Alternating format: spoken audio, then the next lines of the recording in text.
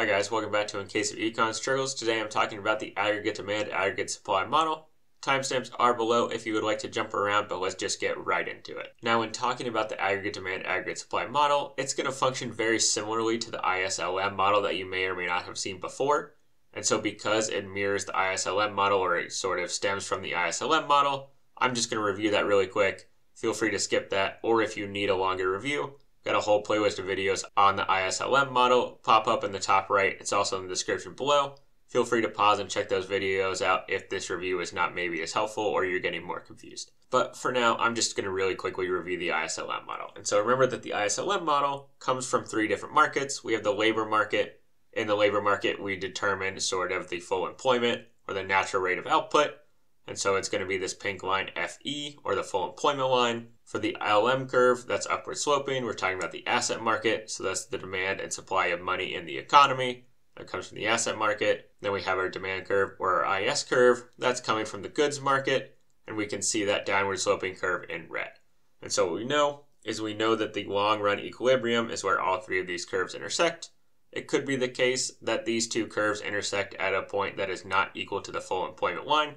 So, for example, suppose the IS curve or demand is sort of down here, then what's going to happen is in the short run, we are right here.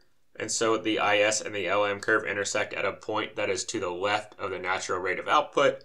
And so what we would say is the economy is in a recession because this Y star would be less than Y bar. And of course, it could be the opposite. If the IS and the LM curve intersect at a point that is above the natural rate of output, we would say we're in a boom. But in the long run, if we don't change the full employment line, we're always going to come back to the natural rate of output. And what's going to adjust is the real interest rate. Okay, so that's just a real quick review of the ISLM model. And again, we're going to use that to translate into the ADAS model. So now I'll go ahead and start translating. So if we think about this full employment line or the natural rate of output, well, that's going to be our long run aggregate supply curve, which is going to be, again, this pink line in the right hand side for our ADAS diagram. Notice that in the ADAS diagram, we still have y on the x-axis, but now on the y-axis, instead of thinking about the real interest rate, we're thinking about the price level. Sometimes you might see it as inflation. Whichever it is, the graph is still going to look the same. Just make sure you pay attention to the axis so when you're thinking about interpreting what's happening, you can interpret it correctly.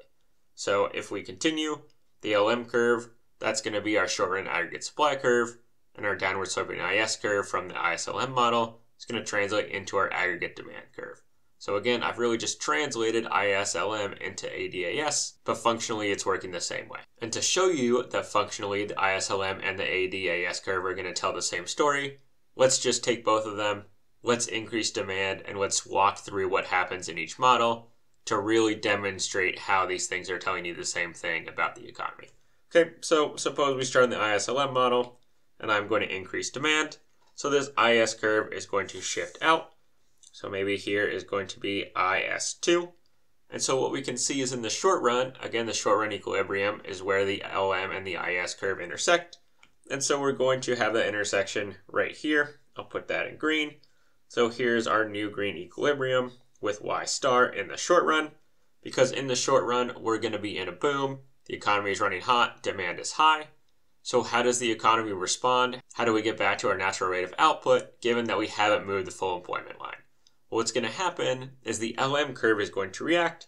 It is going to shift up, and it is going to shift up until we get to the point where we're back at our natural rate of output, but now at a higher real interest rate. So, we're going to go right here. So, now the interest rate has increased in order to shift the LM curve back, and we are back at our natural rate of output. So, all that's happened in the long run we've just increased the real interest rate. So now let's do the same thing with aggregate demand, aggregate supply. And so I'll shift the aggregate demand curve out in a parallel fashion. So here's AD2.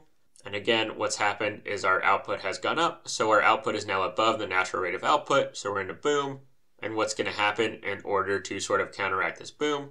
Well, we're going to have inflation. The price level is going to go up. So if the price level goes up, what's going to happen is our supply curve, our short run aggregate supply curve, is going to shift up and it's going to shift up until we get back to the natural rate of output.